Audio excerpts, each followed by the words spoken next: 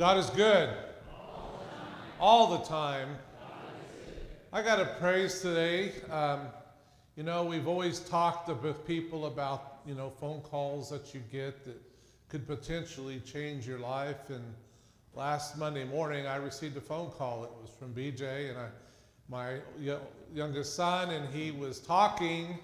I could barely understand what he was saying.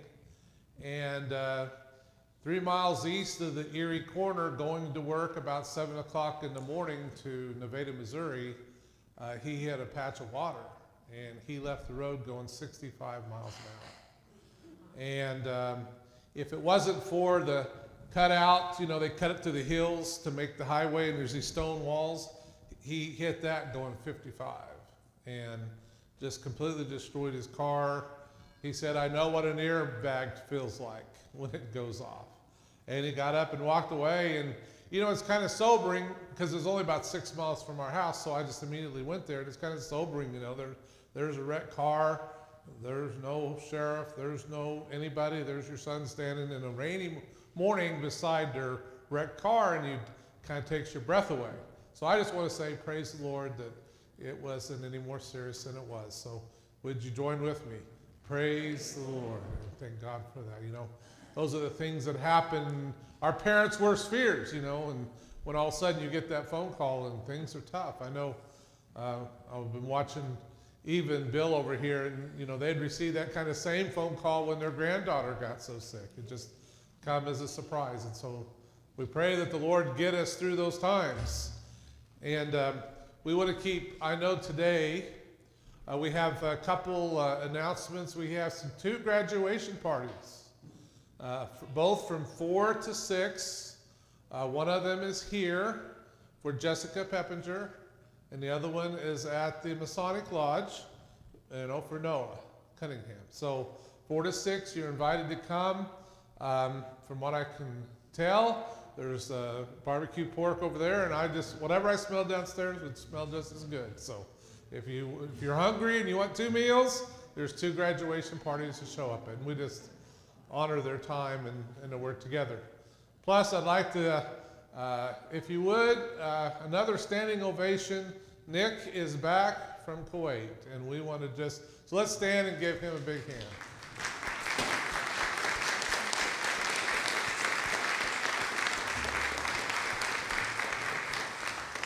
Shelly, it's that handsome guy right behind you. That's Nick. And not, not that one, not that one, this one. And uh, he, he just got back from Kuwait, and we just, uh, you know, and he did get injured.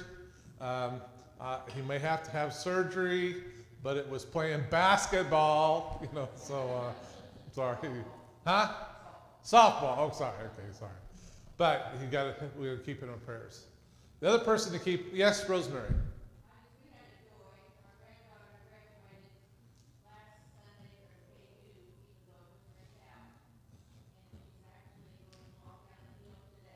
Yes, I saw the pictures. Yeah.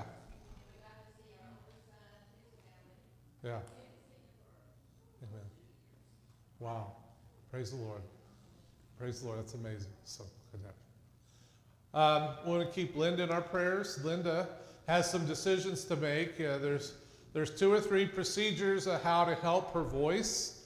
Uh, her left vocal cord has been paralyzed, you know, and so she's having a hard time talking. And so there's several different ways to, to uh, kind of address that potentially, and she's got to decide between which one.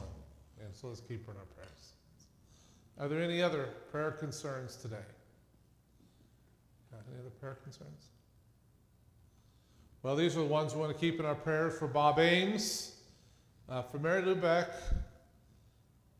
for Iva Byers, for Linda Cadwallader, for Elena Clements and Larry Cooper, for Marge Harper and Mike Cooter, for Steve Martin, Darren McCoy, Janie Roberts, Barbara Seabold, and Ed Young. Cody is away with his wife this weekend, and so let's keep them in our prayers. Are there any other prayer concerns today? Let us go to the Lord in prayer.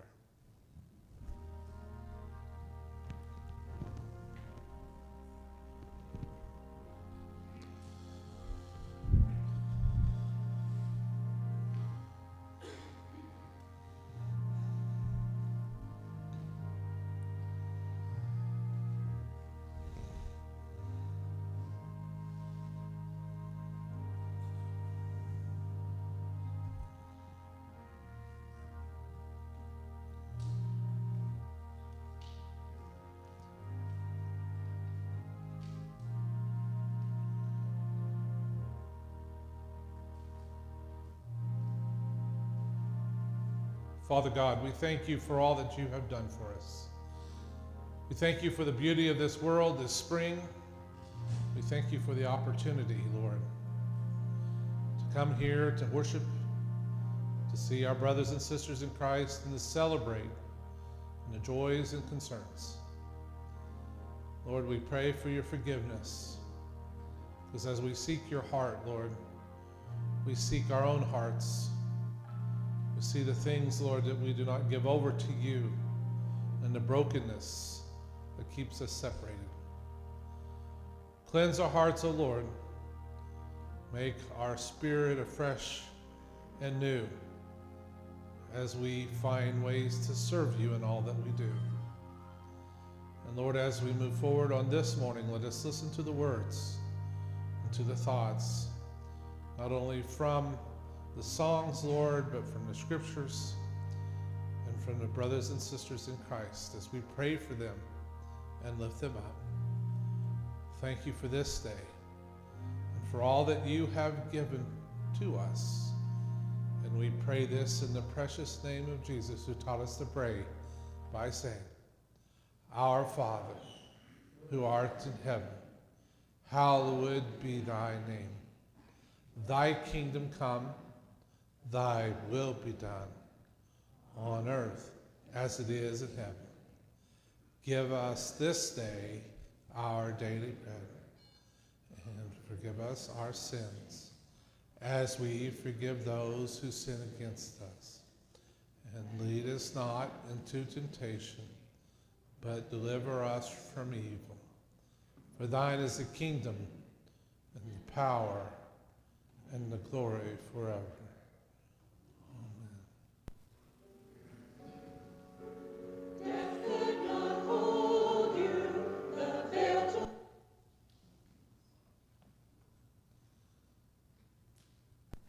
The people said, There we go.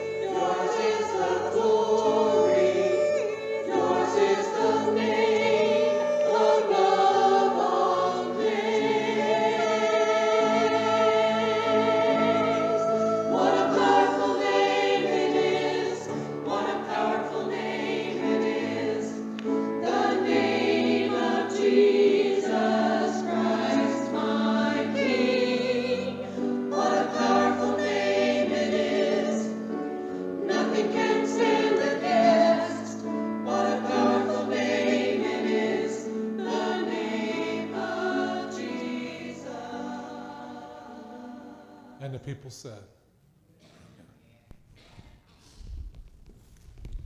Is anyone here by the name of Edith Hooper? Anybody? Anybody? You know, in Oxford, Kansas, my first church as a senior pastor, there was a lady there by the name of Edith Hooper. And every Sunday morning when flowers were blooming, she brought fresh flowers to the sanctuary. And this morning we have peonies and we have irises. And who brought these? They're from Jack and Charlotte. And their anniversary. The, so it's the order of the Edith Hooper. And that is, a, let me tell you, every Sunday. So let's give them a hand for these beautiful flowers.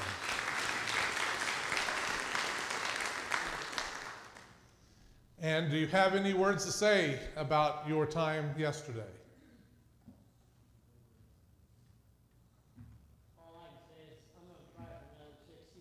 All right, praise the Lord.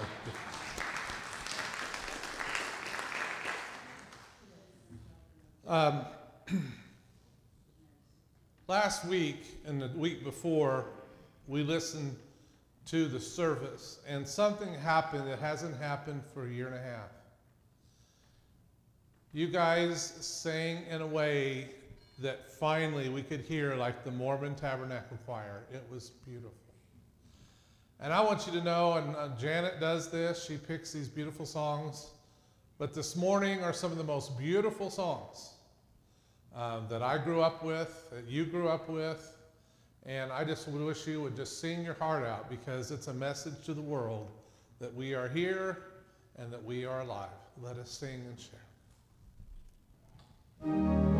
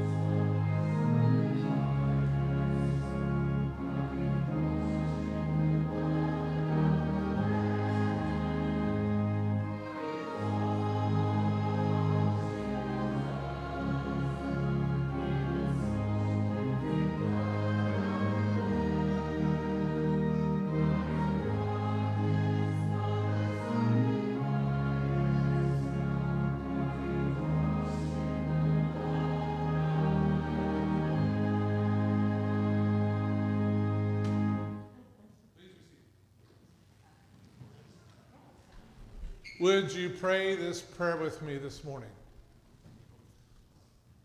on these words? For I received from the Lord what I also passed on to you. On the night when he was betrayed, the Lord Jesus took bread, gave thanks, broke it, and said, This is my body, which is for you. Do this in remembrance of me. In the same way, he also took the cup after supper and said, This cup is a new covenant in my blood. Do this as often as you drink it in remembrance of me. For as often as you eat this bread and drink the cup, you proclaim the Lord's death until he comes. Father God, for these gifts that you give to us each Sunday morning, for the opportunity to feast, Lord, on this sacrifice. You loved us beyond reason. And now you sit at the right hand of God, working out your will in our lives. We pray this in Jesus' name. Amen.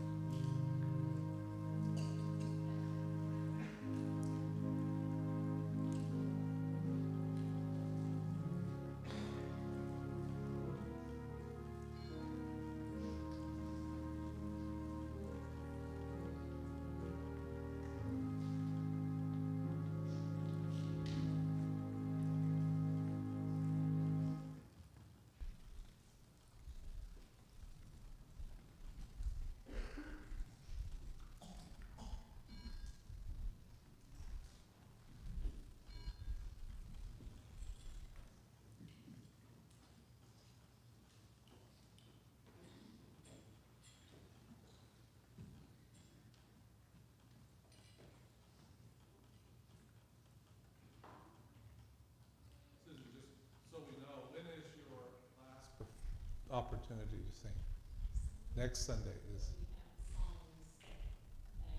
Okay, okay, but but live will be next Sunday. Okay, so that's right.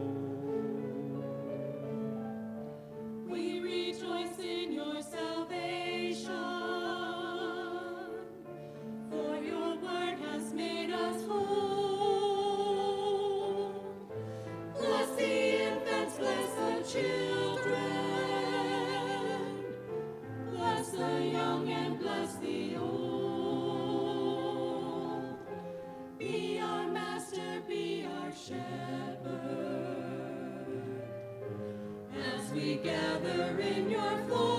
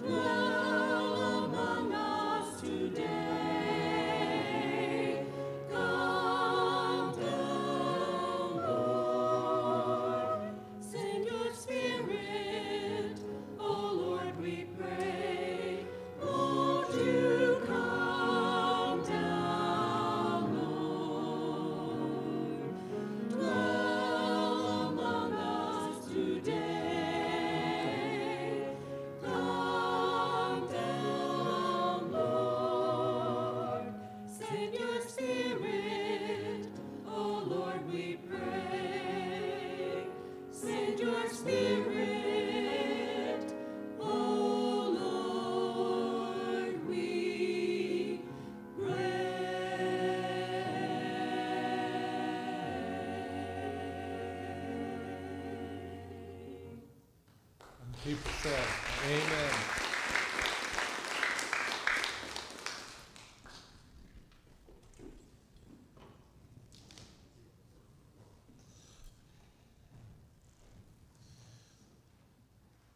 Over my ministry, I've been caught in a lot of arguments. A lot of times when people are trying to express their will and their wants, and but what I think is really interesting is when people start saying this. Well, you know, this is what Jesus would do. Now, my problem is, is because after 45 years of just, you know, sharing and preaching and talking, I kind of have a broad sense of, you know, what the scriptures say each book talks about Jesus. And so when I hear someone jump out and they said, well, you know, that's what Jesus would do, and I, I feel myself going, well, I mean, I know that there's something that kind of says this, but if you look at the larger picture of what Jesus was trying to do, I, I don't know that that's really where Jesus would stay on that thing. Or, or someone would say, well, you know, this is this is that Jesus. And and I would say, no, Jesus would have never said that, you know? And so the question I think is going to be important here over the next few weeks is who is Jesus in relationship to Hebrews? The book of Hebrews. Because this was important. This was the time. This book starts immediately in saying, okay, listen, we're going to tell you who Jesus is. And we're going to go through this chapter at a time. We're going to talk about who is Jesus in relationship to Hebrews because this is important. This has been an issue, it's an issue today. One of Cody's favorite um, song uh, artists is a gentleman by the name of Todd Agnew. And Todd Agnew wrote a song. I wish we could play it, but you know the reason why we will not be playing like uh, praise videos is the moment we decided to go online, that is a significant copyright issue. And probably even reading these lyrics is a problem, but I'm going to go ahead and do that. But, but, and I would play this song so you could hear it, but I'm not. But I will read the lyrics. Because he's asking this same question which Jesus do you follow? He said, Which Jesus do you follow? Now, some of these words are harsh, okay? But you, you must listen to what he's trying to say. He said, Which Jesus do you follow? Which Jesus do you serve? If Ephesians says to imitate Christ, why do you look so much like the world? Because my Jesus bled and died my Jesus spent time with thieves and liars. He loved the poor and he accosted the arrogant.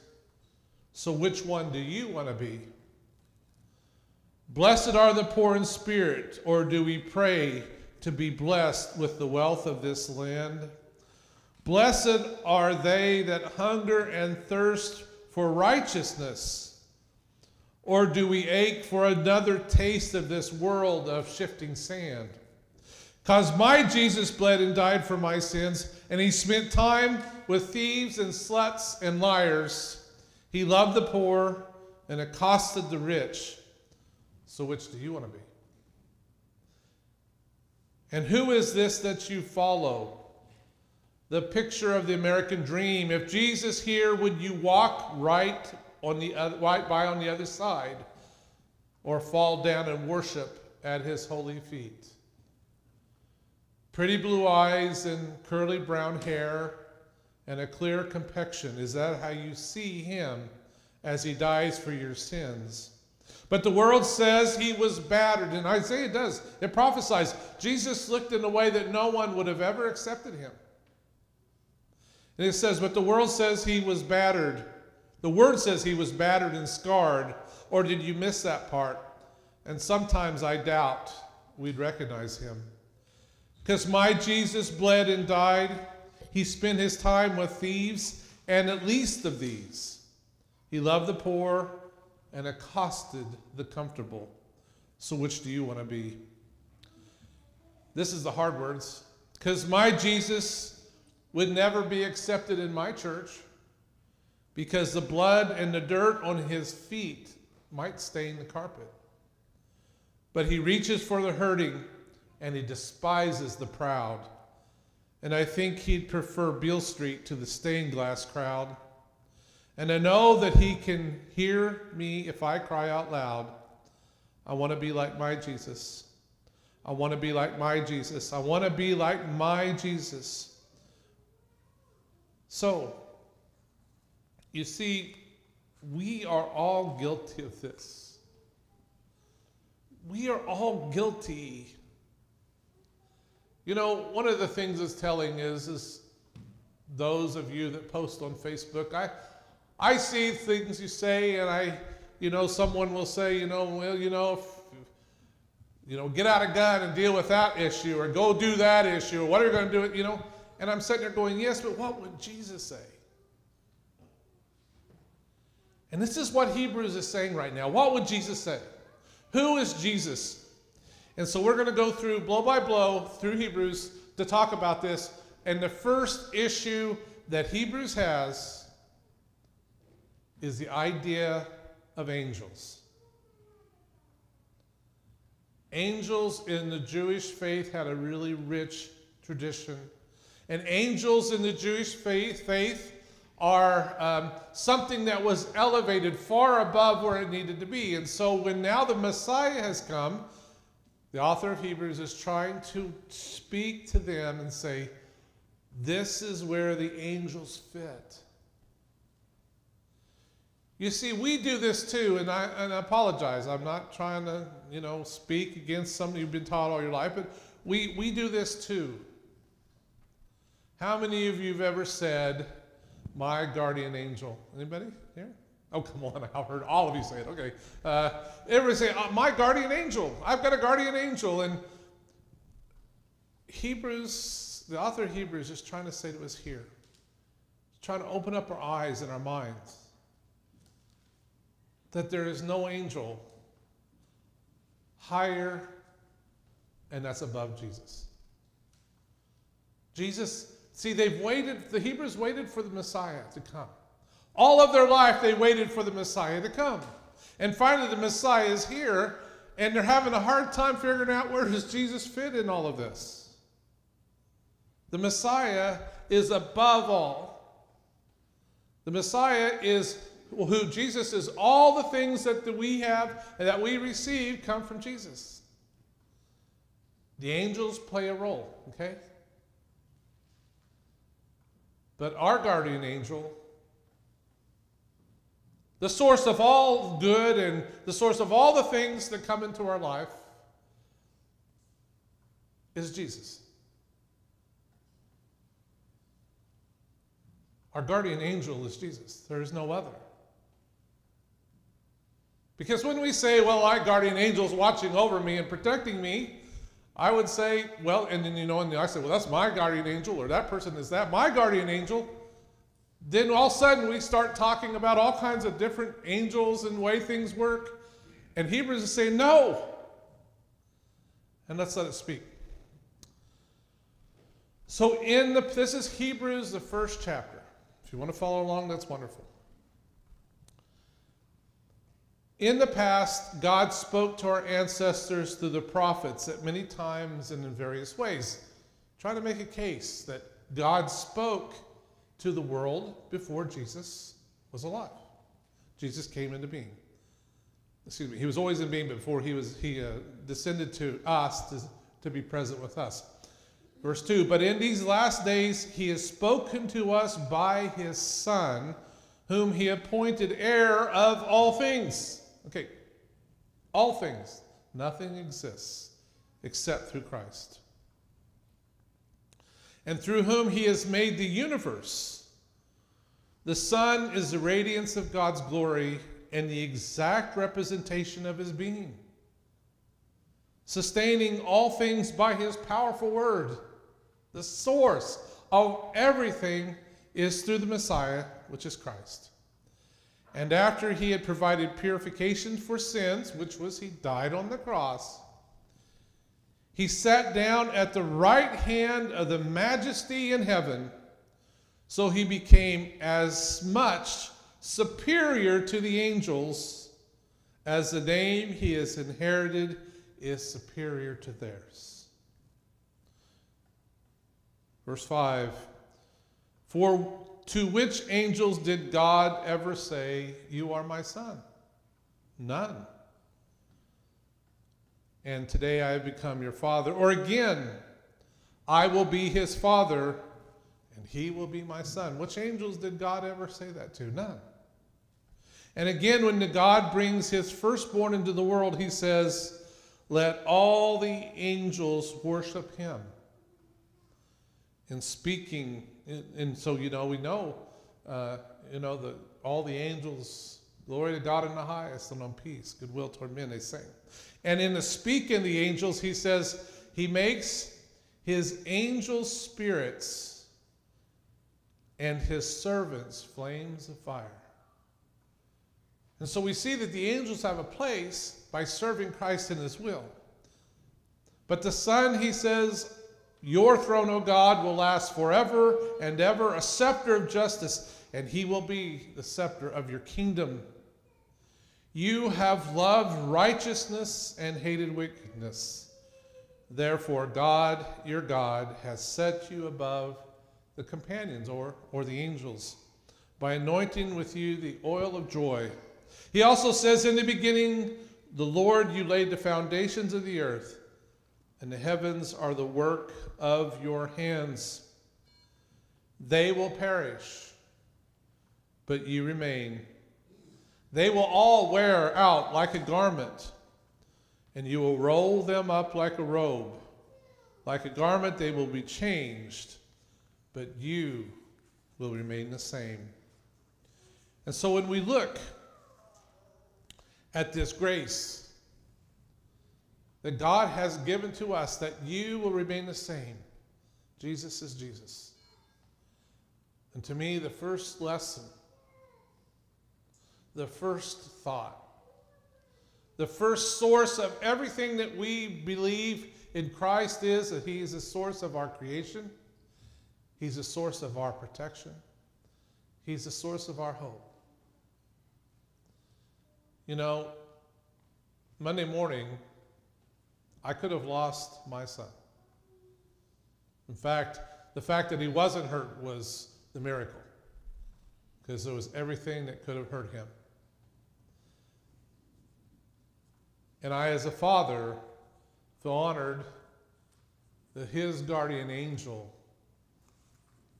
doesn't have a name or isn't a grandfather or an aunt or someone in heaven. His guardian angel is Christ. And I take confidence in that. And if Christ would have taken him home, then I still know that he would have been with him in heaven. So you see, when the scriptures tell us, O death, where is thy victory? O death, where is thy sting? As Christians, we know that the Jesus that we are to worship, the Jesus that is above all angels, that sets the majesty of God, even if we were to die or someone we know and we love passes and goes to heaven, they're in the arms of Christ. And even that is way better than here. And that is the hope that we have. And so I would like for you this week, if you ever catch yourself going and thinking about your protection or, or something happening in your life and you think, oh, that's luck or guardian angel or I, I just want you to think through that and go, no, I remember now. Hebrews is telling me Jesus is a source of my protection. I'm in Jesus' plan, and there is no other.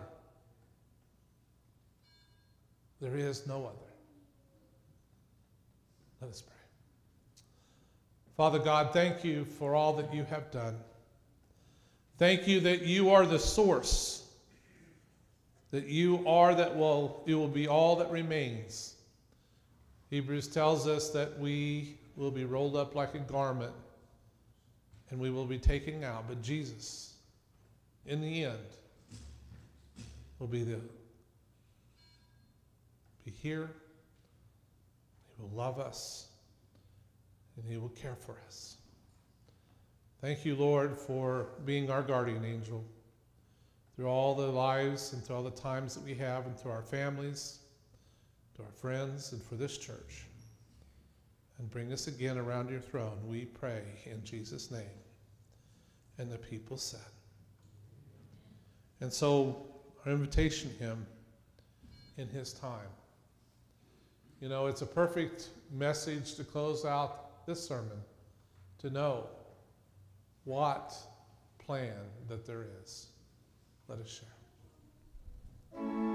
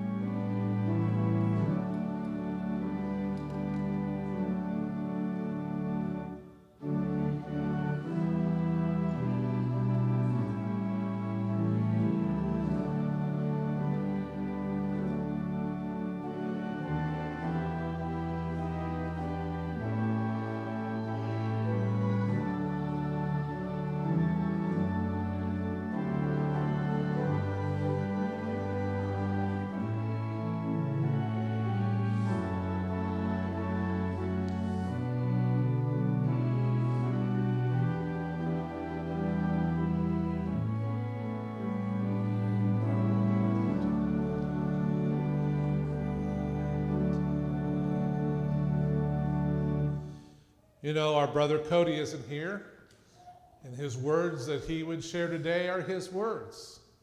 And when he is gone, his words aren't to be shared. And so we're going to go straight to our doxology because what greater response is there to know that Jesus is the source of all things and he loves us? Let us stand and sing our doxology.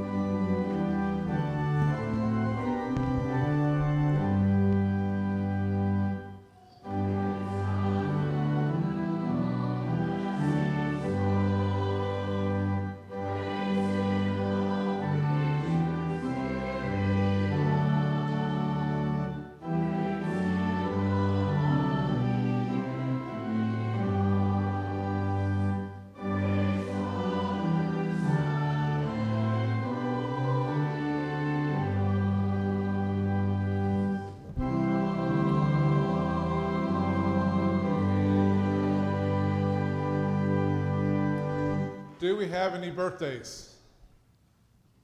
Danny, when's your birthday? Tomorrow. And how old are you? 56. Okay. Anyone else have any birthdays?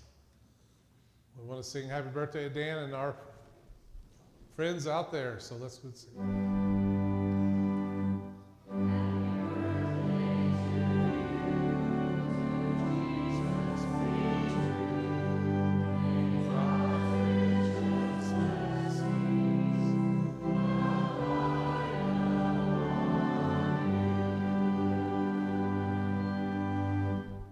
Anniversaries? Okay. Wednesday, how many years? 48 years. Praise the Lord. Okay. Any other anniversaries? Roger? Uh, Melanie and I will be married 40 years tomorrow. 40 years tomorrow. Praise the Lord. And Jack and Charlotte, how m- 65 years on Tuesday. 65 years on Tuesday. Anyone else? The Lord has blessed us. Let's give everyone a big hand, okay? And for our guests, we have a blessing for the world, for one another. We start out, and the men say, Women of our hearts, we love you. And the women say, Men of the hearts, we love you. And all together, for children born and unborn, we say, Children of our hearts, we love you. And then together, as loud as we can, we say, Lord of our hearts, we love you. So, men, ready? Women of our hearts, we love you. Children of our hearts, we love you. Lord of our hearts, we love you. Brothers and sisters, what do you say? We are the body of Christ, and Jesus is Lord. God bless you. See you on Memorial morning, Memorial Sunday.